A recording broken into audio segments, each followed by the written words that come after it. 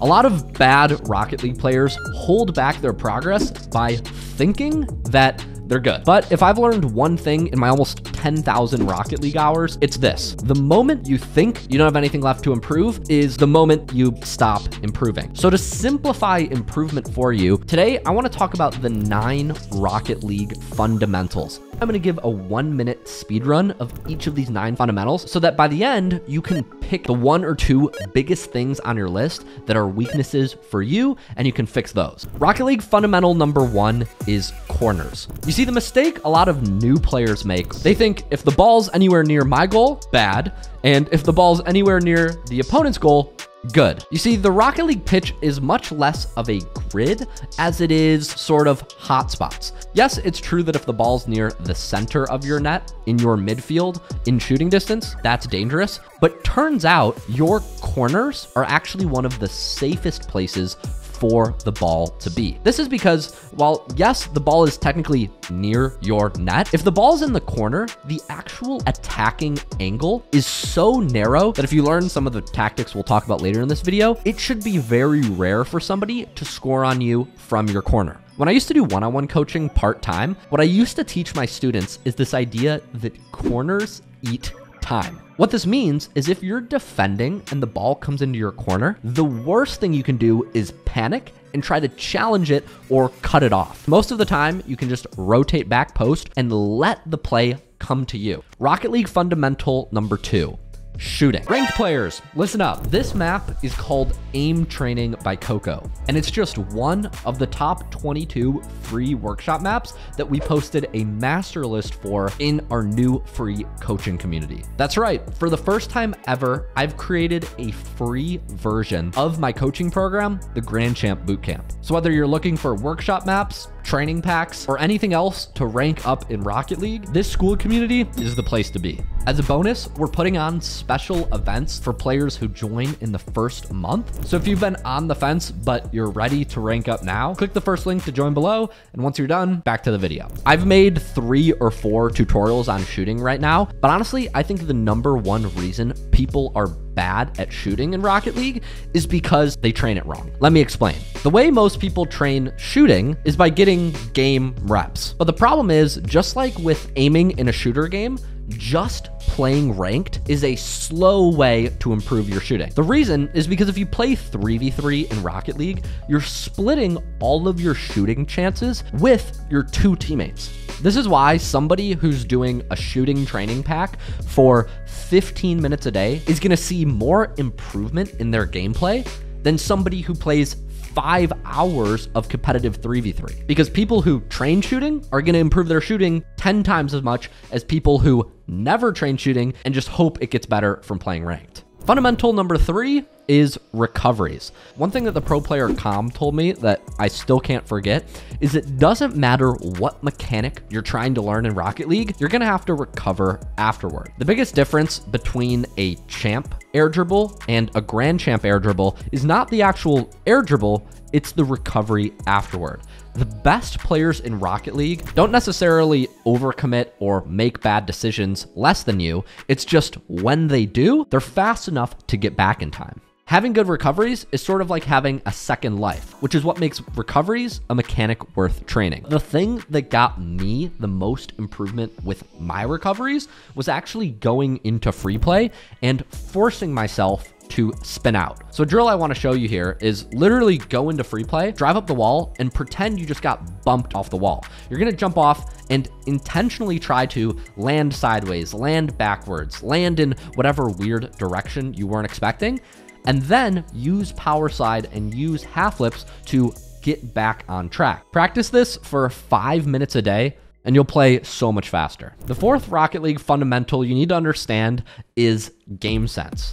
Most new players hear the word game sense and they think what that means is going back post. True game sense is being able to make decisions with your positioning and with your objectives in game based on prior experience and pattern recognition. This is why it can be dangerous to just remember rules. So I did a video called I Smurfed in Diamond to show it's not luck, where I basically did a private lobby with some viewers And afterwards, I did a replay analysis for them. I remember there was a one on one situation where I was attacking this player's goal and they were sitting back on their back post thinking they were defending me. So I explained 1v1 is where you want to shadow defend because shadow defending gives you a better chance at saving a 1v1 than sitting back post does. This is why when you're learning game sense, the takeaway I want you to have is you don't want to ask what somebody is doing. You want to ask why is the player doing this? But if you want to really master the game, you need to understand what each move is good for and when to use it.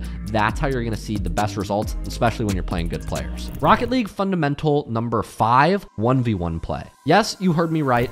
1v1 play is a fundamental of Rocket League. I remember I did a coaching session after I first hit Grand Champ. I asked him what it would take for me to get SSL, and he literally told me, dude, you just need to play 1v1 so that way you can score more one on one situations and get scored on less when you're last man back. I tell you this because as much as game sense and positioning and shooting and recoveries does matter, sometimes the difference between getting scored on or scoring is just a last minute decision on the goal line. And the only way you're going to improve that 1v1 play is playing more ones. So if you've been a long time threes or twos main and you've literally never played ones in your life, I'm not saying you have to become a 1v1 main, but a little bit of ones can go a long way towards improving your overall skill as a player. Rocket League fundamental number six boost management. Wait, wake up before you fall asleep with me talking about boost. This is not going to be me telling you to go pick up more small pads. I want to give you something that you can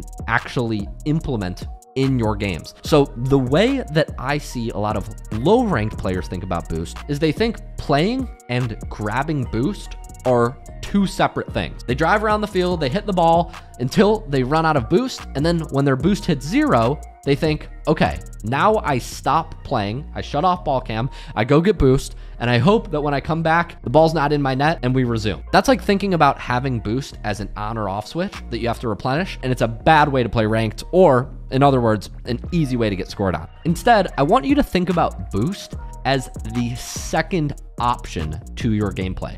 So instead of looking at your boost meter, seeing it zero, and then deciding you have to leave the play, I want you to look at your boost meter, see that it's zero, but then before you're allowed to go get boost, you check the play to predict how long you're needed. What you'll notice is good players only leave the play to get boost if they're not needed. So they'll see they have zero boost, they'll check the play, and if the play is still developing, or there's about to be a center, or they're about to need to make a save, they won't leave. They'll stay there until they're allowed to. When you switch your mentality here from this sort of selfish way of playing of I'm out of boost, I need to leave, to this more selfless way of playing, yes, you might be driving around the field on 100 boost less often, but you're gonna have much more impact in your games. When you play ranked, the ball comes first, boost is second. Rocket League fundamental number seven, demos. The biggest difference I've seen between champs and grand champs and plats and diamonds is their use of physical play.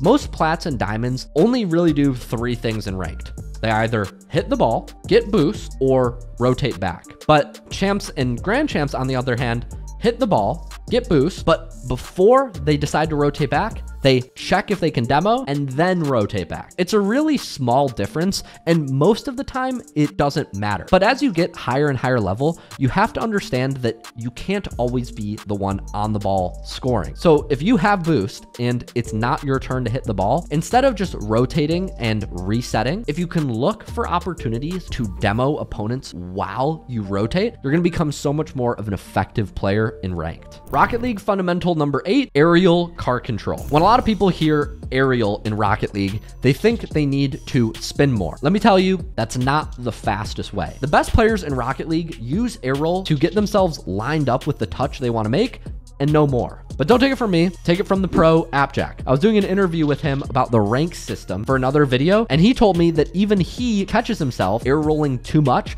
and has to remind himself to stop it. So many new players think you need to completely roll your car over and be upside down to hit the ball hard, when in reality, most times just a tap of air roll is more than you need for the most powerful air roll shot. When it comes to aerial car control, remember less is more. Rocket League fundamental number nine consistency. Look, I could tell you for hours about the perfect ways to train. You know, we could set up a whole routine for you where you're playing 48 minutes of 1v1 with a 15 minute warm up and 35 minutes of training packs after. But the truth is, the secret trick to ranking up in Rocket League is consistency. No matter what you're training, no matter what you're doing, in a game like Rocket League, you need to do it for long enough to see results. And it doesn't matter if something is the best idea in theory, if you can't stick to it in practice, is it really going to help you? I mean, look at it this way. If every time you play Rocket League, you are miserable. Like you're doing all these training packs or you're playing ranked or whatever, and you're just bored or you're tilted or you're frustrated or it's just not fun. You're not going to be in a mindset to enjoy what you're doing and stick to it. Or even if you are, because you're not enjoying what you're doing, you're not going to be creative. You're not going to be soaking up new things. And whether or not that way might be the best way, it's not going to work out in the long term. The only way you're going to get consistent with all these things, whether it's 1v1 play, whether it's shooting, whether it's with recoveries, is by consistently putting in time. So at this point, what I want you to do is pick one or two of these things that you're most weak at, but also that you could actually stick to and improve. Point is, pick something that you can enjoy, that you can stick to, and that's going to help you get better at ranked. As always, thanks so much for watching, guys. I'll see you in the next video.